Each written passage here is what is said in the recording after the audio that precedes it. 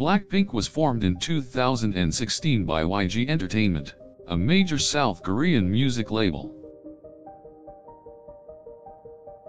The group consists of four members, Jisoo, Jennie, Lisa, and Rosé.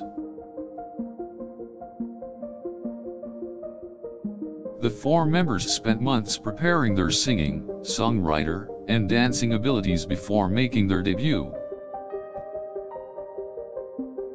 In 2016, they released their first single, Whistle, a chart-topping song that was highly successful. This was followed by their debut EP, Square One, which featured the hit songs Boombayah and Whistle.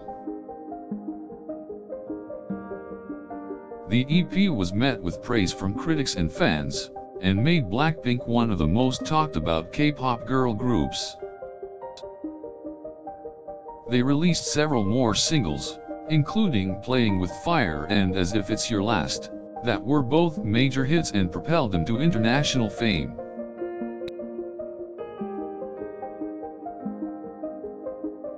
The group went on to perform at numerous large-scale festivals, including Coachella, and South by Southwest.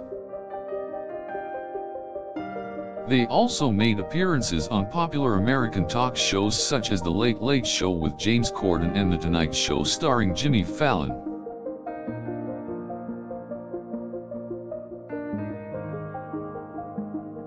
In 2018, Blackpink debuted their first full-length album, titled Square Up. The album was a huge success and spawned multiple hit singles, such as Ddu-Du Ddu-Du, Forever Young, and Kill This Love. Following its success, the group went on to tour around the world, performing in both Asia and North America. They also released a number of collaborations with other artists such as Lady Gaga, Selena Gomez, and Dua Lipa.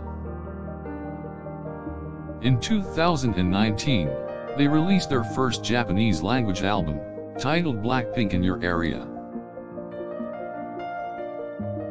The album featured all new songs as well as remixed versions of some of their biggest hits.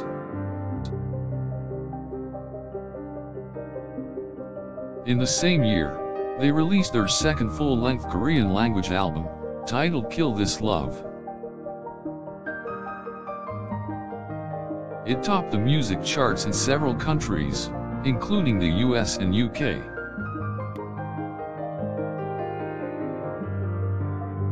This was followed by their first world tour, titled the Blackpink 2019 World Tour. The tour lasted 7 months and visited 22 cities in 13 different countries. The tour was enormously successful and was seen by 2 million people.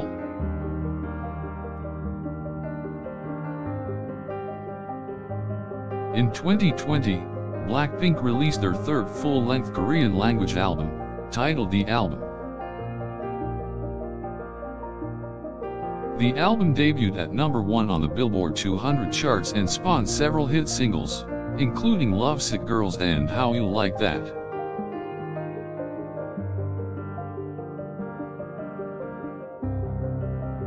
The group has also released several other singles in 2020, including Ice Cream with Selena Gomez, Bet You Wanna with Cardi B, and Pretty Savage.